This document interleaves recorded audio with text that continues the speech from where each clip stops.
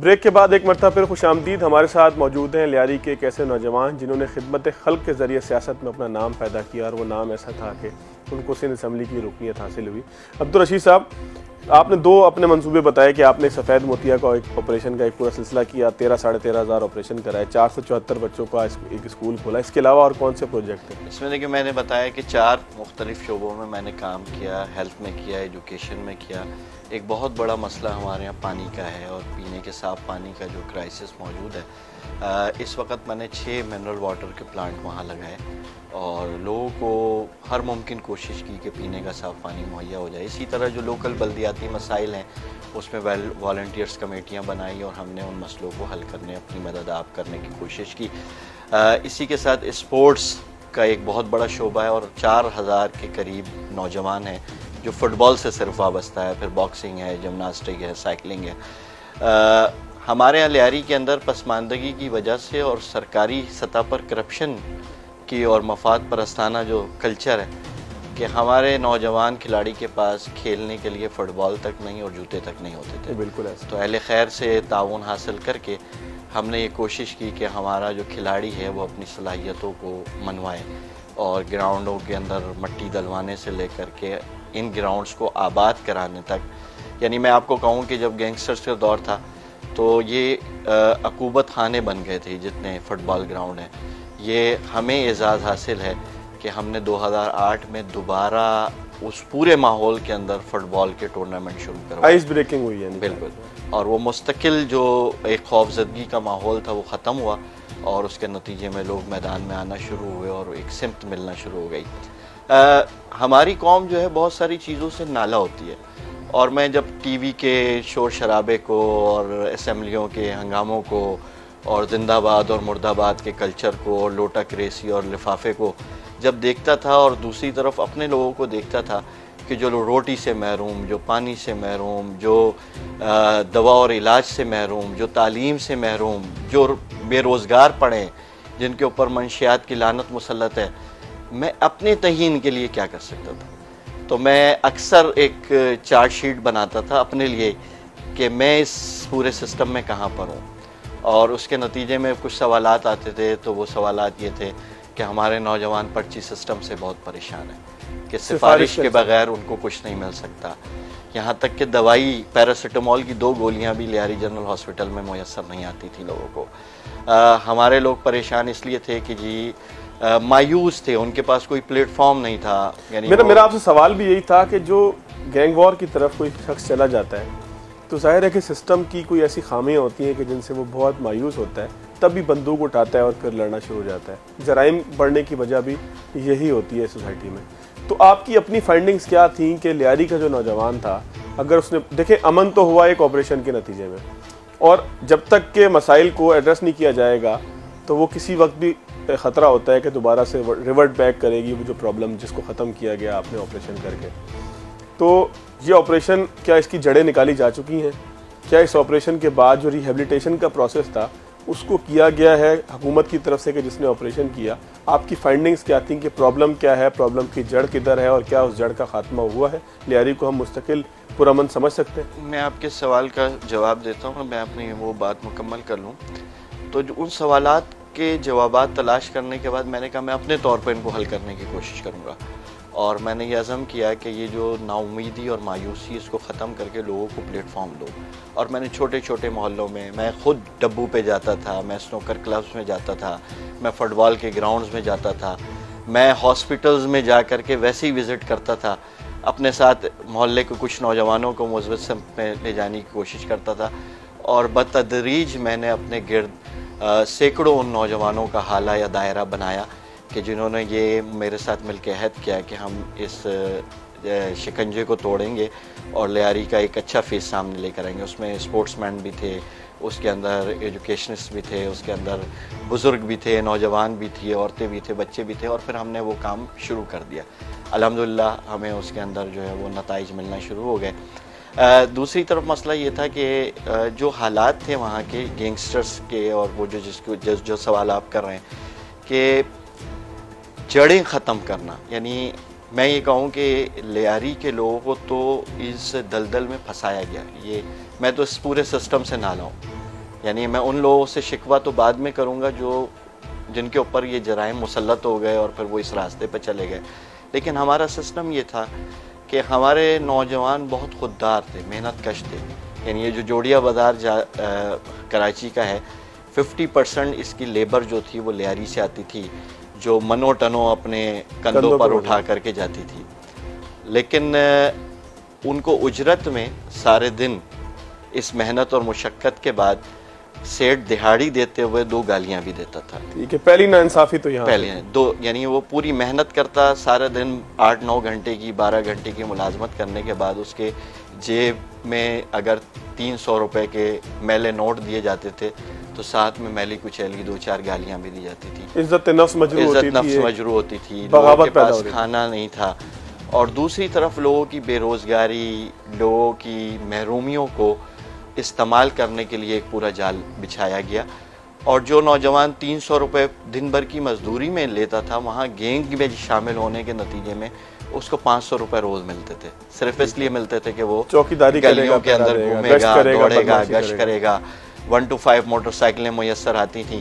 تو ایک طرف محرومی تھی یعنی کہ سائیکل سے موٹر سائیکل مل جاتی یعنی اس کے پاس سائیکل نہیں ہوتی تھی یعنی وہ کنڈے کے اوپر مزدوری کرنے نکلتا تھا۔ وہ جب ردی کے گوداموں میں کام کرنے والے نوجوان کو ون ٹو فائیو بھی اور پانچ سو روپے بھی اور چمکتا ہوا ایک پسٹل بھی دے دیا جائے اور پھر وہ گلے کے گلی کے اندر جہاں وہ سر جھکا کر کے چلتا تھا وہ اکڑ کر چلنے لگ جائے تو ایک پورا چاند پیدا کیا جس کے نتیجے میں ہمارے نوجوان گئے۔ اور میں آپ کو بتاؤں کہ اس وقت بھی کراچی کے لانڈی اور سینٹرل جیل کے اندر دو ہزار کے قریب لیاری کا نوجوان ہے اچھا۔ جو بند ہے۔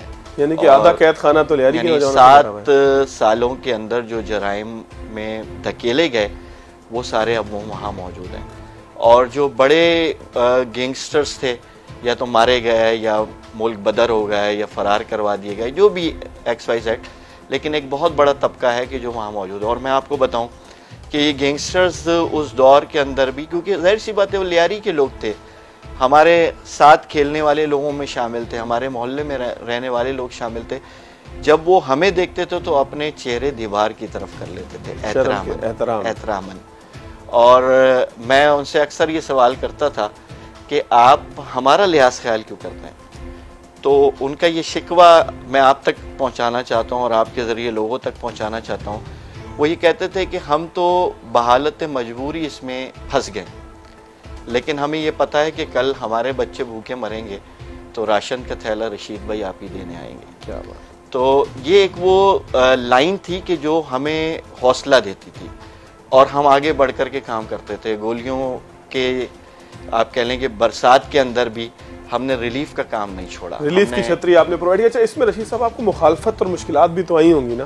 ظاہر لوگوں کو پتا تھا کہ ہو سکتا ہے کل کوئی ایم پی اے بن جائے یا سیاست کے اندر داخل ہو جائے۔ تو لوگ سیاسی مشکلات بھی آئی ہوں گی کوئی جرائم پیشہ افراد کی طرف سے مشکلات بھی آئی ہوں گی وہ کیا تھی دیکھیں ایک چیز تو یہ ہے کہ جی میں نے کبھی یہ تصور نہیں کیا تھا کہ میں ایک ممبر صوبائی اسمبلی یا پولیٹیشین کی حیثیت سے متعارف ہوں گا۔ میں تو والنٹیری کام کر رہا تھا۔ مطلب مقصد آپ کا کہیں پر بھی یہ نہیں تھا۔ ہاں اس کے بعد دوسری چیز یہ کہ ہمارے جو مشکلات ہیں اچھے لوگوں کے لیے میں اس کی طرف نشاندہی ضرور ہمارے یہاں مشکلات ہے تعصب۔ یعنی زبان کا تعصب ہمارے یہاں مسلک کا تعصب مشکل بنتا ہے۔ ہمارے یہاں جو وڈیرہ شاہی ہے یا شہری جاگرداری ہے یا برادری ازم ہے وسائل ہیں سرمایہ کاری ہے۔ اس وقت ہم سرمایہ دارانہ سسٹم میں پھنسے ہوئے ہیں۔ میرے پاس دو تین ایسی ملٹی نیشنل کمپنیز ہوں جو مجھے اسپانسر کریں اور میں ہر چینل پہ بیٹھوں تو میں سمجھتا ہوں کہ میرے پاس اتنا کچھ بیان کرنے کے لیے ہے کہ میں پاکستان کا ایک مقبول ترین آدمی بن سکتا ہوں۔ اس سرمایہ دارانہ نظام میں اس پورے تعصب میں یہ ہرڈل تھے۔ اور ان ہرڈلز کے ساتھ وہ ہرڈلز بھی تھے کہ اس گلی میں نہیں جاؤ مار دیا جائے گا وہاں سے تمہیں بوری مل جائے گی ان کے پاس نہیں جانا ان کے پاس نہیں جانا۔ اور یہ ہرڈلز اب بھی موجود ہیں۔ اچھا۔ لیکن ہمارا ایمان یہ ہے کہ زندگی اللہ کی دی ہوئی ہے۔ اور جب موت آنی ہے ساری دنیا بھی بچائے گی تو نہیں بچ سکوں گا۔ اچھا رشید صاحب بالکل آخری پروگرام کے ہم طرف جا رہے ہیں۔ کون سے بڑے مسائل ایسے ہیں کہ جن کو آپ نے اب تو ایم پی آپ بن گئے ہیں، گو کہ ظاہر ایک گلی محلے کی نالیاں ٹھیک کرانا یہ ظاہر ایم پی کا کام نہیں ہوتا، لوگوں کو ایک مسکانسیپشن بھی ہے۔ لائٹ بھی جاتی ہے تو لوگ اپنے ایم پی اے کا دروازہ کھٹکھٹاتے ہیں کہ اس کو لے کر آؤ ٹرانسفارمر پہ چڑھو یا کچھ بھی کرو۔ تو یہ سارے مسائل اپنی جگہ موجود ہیں، لوگوں کے کانسیپٹس کا ایشو بھی ہے۔ ایجوکیٹ بھی ظاہر ہے کہ نظام چلے گا تو لوگ ساتھ ساتھ ہوتے رہیں گے۔ کیا چیزیں ایسی ہیں کہ خدمت خلق میں آپ اب کر رہے ہیں جو بتا دیا آپ نے اس کے علاوہ؟ اور کیا آپ کی پلاننگ ہے لیاری کے عوام کو ڈیلیور کرنے کی؟ اس میں دیکھیں اس وقت میں یہ چاہتا ہوں کہ ہمارے لوگ عزت کے ساتھ زندگی خوشحالی کے سفر پر گزاریں۔ اپنے طور پر جو میں کر رہا ہوں میں نے اس وقت پانچ انڈسٹریل ہوم خواتین کے قائم کر دی ہیں اپنی مدد آپ اور اس میں سینکڑوں خواتین آتی ہیں اور وہاں پر اپنے روزگار کا انتظام بھی کرتی ہیں ہنر بھی حاصل کر رہی ہیں۔ میں نے چائلڈ ایجوکیشن پروٹیکشن سینٹر بنا دیے ہیں۔ کہ جو بچے میکینک کی دکان پہ کام کر رہے ہیں ادھر ادھر وہ آ کر شام میں وہاں پڑھتے ہیں۔ اور میری کوشش ہے کہ میں ایسا اسپانسر بھی حاصل کر لوں کہ ان گھروں کے اندر جو دو سو تین سو روپے ڈیلی بھی جس پر کام کرتے ہیں ان بچوں کو وظائف مل جائیں اور وہ ضرورت پوری اور ان کی صحت مل جائے۔ میں football grounds boxing club gymnastic club ان کو مزی کرنا چاہتا ہوں تیار کرنا چاہتا ہوں۔ ان کو اس قابل بنانا چاہتا ہوں کہ جس کے نتیجے میں ٹیلنٹ سامنے آ جائے۔ اس کے ساتھ روزگار کے مواقع فراہم کرنے کے لیے میں ووکیشنل سینٹر قائم کرنے کے پروجیکٹ پر موجود ہوں۔ میں نے ایک روزگار ڈیکس قائم کیا ہے اور شہر کی مختلف فیکٹریز کو میں نے لیٹر بھیجے ہیں اور میں ایک پورا ٹریننگ کا ایک سسٹم بنا رہا ہوں چلا رہا ہوں کہ میں ہنرمند تیار کروں امانت اور دیانت کے ساتھ۔ اور ہم اپنی اس ریورس گیئر کی طرف جائیں۔ کہ جو خودداری ہماری محنت کشی سامنے آ جائے۔ اسی کے ساتھ ساتھ میں یہ چاہتا ہوں کہ لیاری کے اندر میں نے ایک نعرہ دیا کہ پڑھو لیاری بڑھو لیاری۔ یعنی تعلیم کے بغیر ترقی ممکن یعنی نہیں آپ نے ایک اور اس کے اوپر میں کام کر رہا ہوں۔ اس کے ساتھ اس وقت جس طرح لوکل مسائل ہیں یہ بات ٹھیک ہے کہ رات کو تین بجے بھی کسی کی بجلی جائز نہ جائز جیسے بھی چاہے۔ وہ آ کر مجھے اٹھاتا ہے اور اگر میں منع کروں تو لوگ شاکی ہوں گے۔ میرا کام نہیں ہے لیکن بہرحال اس وقت میں لوگوں کی امیدوں کا مرکز ہوں تو میں ان کی ہر کال پر لبیک کہتا ہوں چاہتا ہوں۔ بہت شکریہ اور چھوٹی سی چیز یہ کہ اس وقت اسمبلی کے بہتر دنوں کے بزنس میں چونسٹھ دن پوری پاکستان کی تاریخ میں اور پوری اس اسمبلی کے اندر میں ایک واحد ممبر ہوں۔ کہ جس نے دس کے دس بزنس اسمبلی کے استعمال کیے اور جتنا نام لیاری کے اور لیاری کے مسائل پر میں نے بزنس کیا، پانی کے مسئلے حل کرنے کے لیے، اس کے لیے چالیس سالوں کے اندر لیاری کی کسی منتخب نمائندے چلیں لیاری کی بھی خوش قسمتی ہوگی کہ اگر کوئی وہاں پر بھی تبدیلی ہے ناظرین، آج کے پروگرام میں ہماری خواہش یہی تھی، کوشش بھی یہی تھی خواہش سے زیادہ کوشش یہی تھی کہ ان لوگوں کو پروموٹ کیا جائے کہ جو سیاست سیاست کے گندے چہرے کو، سیاست کے ناپاک چہرے کو یا سیاست دانوں کے ایک گندے چہرے کو جو ہے وہ درست کرنے کا سبب بن رہے ہیں اور معاشرے میں کوئی تبدیلی لے کر آ رہے ہیں۔ اور یہ حقیقی تبدیلی ہے، یہ کوئی نعرے کی تبدیلی نہیں ہے۔ آج کے پروگرام سے اتنا ہی اگلے پروگرام تک کے لیے یاد دیجیے۔ اللہ حافظ۔